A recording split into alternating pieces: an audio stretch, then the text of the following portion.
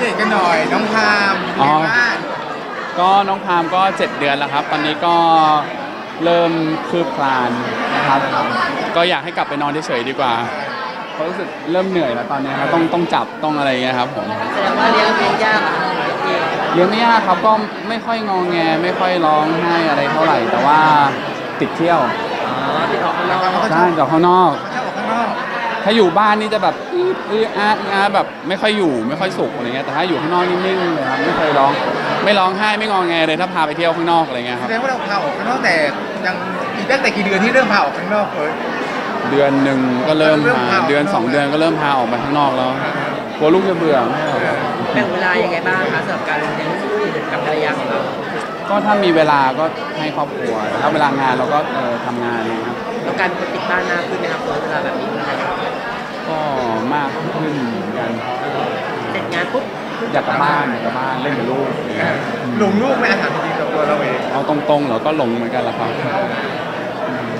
ขาใส่แววอะไรกับเราชีวิตเปลี่ยนไปเยอะไหมฮะพอมีลูกแล้ว ก็เปลี่ยนเหมือนกันครับอืมเหมือนเราต้องรับผิดชอบอะไรมากขึ้น เรามีเหมือนมีลูกที่เขาเป็นอะไรที่เราต้องดูแลต้องเลี้ยงดูต้องอะไรเงี้ยครับอืม แต่พอคนแรกแฮปปี้แล้วมีแผนจะแบบคนที่สองต่อไหมคะโอ้อันนี้ยังไม่คิดเลยครับ เออมีคุยคุยกันบ้างไหมกับภรรยาก็มีคุยแต่ก็ยังก็เห็นเห็นด้วยว่าคนคนเดียวคนเดียวดีกว่าอะไรเงี้ยเออแต่ว่าเราเป็นคนถ้าที่เมื่อกี้แล้วเราเหมือนเราเลี้ยงลูกแบบว่าไม่ค่อยห่วงเท่าไหร่ให้ลูกออกไปผจญภัยไปเจอข้างนอกไม่ได้ห่วง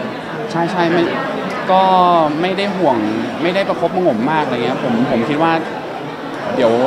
โลกที่เขาโตมาต้องออกไปเจออะไร ผมว่ามันน่าจะ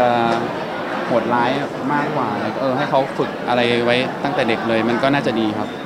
ก็เลี้ยงคล้ายๆ อย่างที่เราเคยเติบโตมาอะไรเงี้ยครับผมอย่างแฟนนี่เขาห่วงไหมเวลา